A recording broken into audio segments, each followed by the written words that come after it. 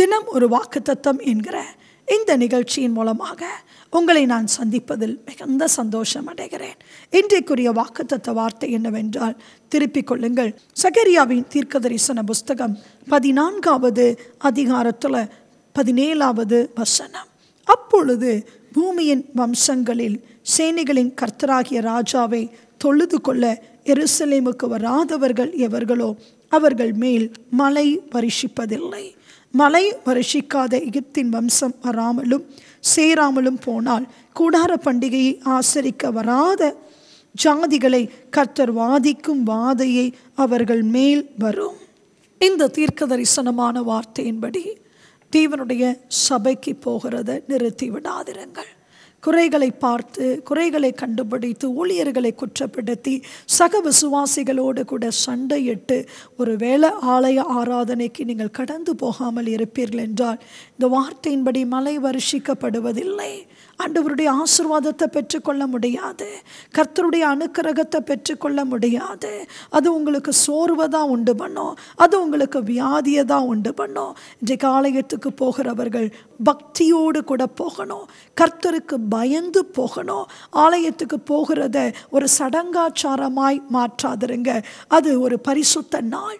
உயிர்த்தெழுதலின் நல் நாள் நித்திய ஜீவனுக்கு உங்களை ஆயத்தப்படுத்துகிற அது ஒரு ஓய்வு நாள். அந்த ஓய்வு நாளிலே ஆண்டவர் எல்லாவற்றையும் செய்து அவர் ஓய்ந்திருந்தார்.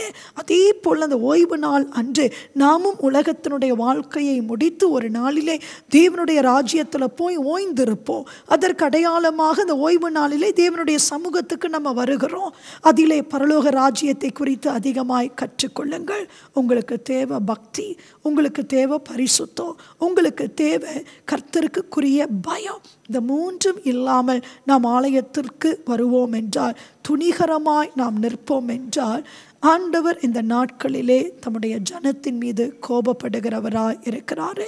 உங்கள் பேரை பிரஸ்தாபப்படுத்துவதற்காக ஆலயத்துக்கு போகாதீங்க.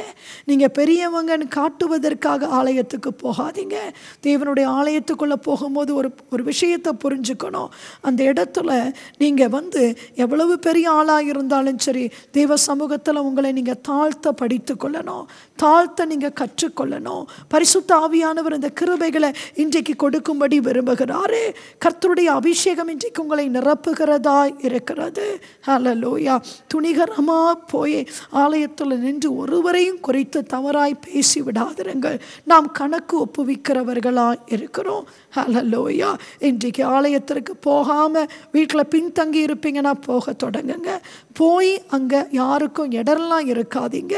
கர்த்தருக்கு பயந்து பக்தி உள்ளவர்களாய் பரிசுத்தம் உள்ளவர்களாய் தேவனுடைய இரண்டாம் வருகைக்கு ஆயத்தப்படுத்துவதற்குரிய கிருபைகளை கர்த்தர் இன்றைக்கு உங்களுக்கு கொடுப்பாராக. ஜெபிப்போமா? எங்கள் பரலோக பிதாவே அண்டவரே இந்த தீர்க்க தரிசனமான வசனத்தின்படி உடைய பிள்ளைகளை கத்தர் பரிசுத்தப்படுத்திடுங்க ஆலயத்துக்கு போகாமல் யாராவது வீட்டிலே தங்கியிருப்பார்கள் என்றால் பேருக்காக ஆலயத்துக்கு போவார்கள் என்றால் அவர்கள் ஒவ்வொருவரையும் ஆண்டவர் இன்றைக்கு ரட்சிக்கும்படி நாங்கள் செபிக்கிறோம் உம்முடைய ஜீவன் இறங்கி வரும்படி நாங்கள் செபிக்கிறோம் கிறிஸ்துவின் ஜீவன் இறங்கி வரும்படி நாங்கள் செபிக்கிறோம் அப்பா. ஒரு மெய்யான காவல் இன்றைக்கு தம்முடைய பிள்ளைகளுக்குள்ள வைக்கப்படுவதாக இவர்கள் வரையும் கர்த்ததாமே ஆசிர்வதிப்பீராக. ஏசு கிறிஸ்துவின் நாமத்தில் வேண்டிக் கொள்கிறோம். எங்கள் நல்ல பிதாவே. ஆமேன். ஆமேன். Have a plus day